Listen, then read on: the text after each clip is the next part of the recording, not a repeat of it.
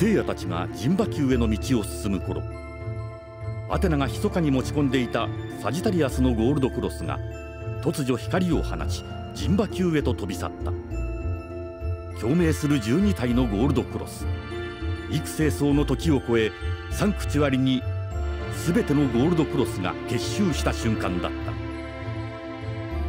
た。3人はアイオロスの死を悼みつつも陣馬宮へと乗り込んだ。これはサジタリアスのゴールドクロス。そうか。さっきこの陣馬宮へ入っていった光はこのゴールドクロスだったんだ。えサジタリアスのクロスが動いてる。まるで聖夜を狙っているかのようだ。せ聖夜危ない！ここれは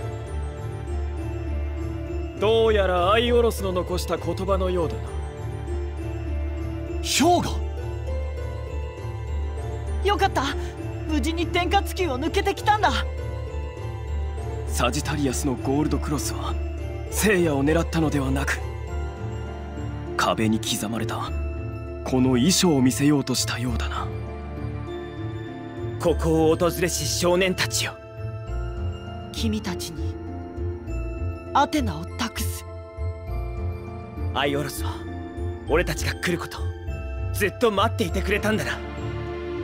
いつ来るかわからない俺たちを。永久に誰も訪れないかもしれない。この陣馬宮で。アイオロスの熱い思いがあのわずかな遺書から伝わってくる。アイオロス今ここで改めて誓う。アテナは俺たちが必ず守り抜くと。この先どんなことがあっても知るなよ。この果てしなき星渦巻く銀河で。同じ時代を分かち合って生まれてきた。